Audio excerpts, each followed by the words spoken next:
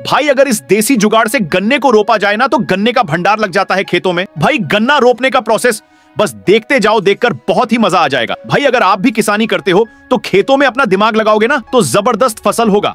और भाई, जब ऐसे वीडियो देखने मिले ना तो बिना सोचे हुए लाइक कर देना चाहिए।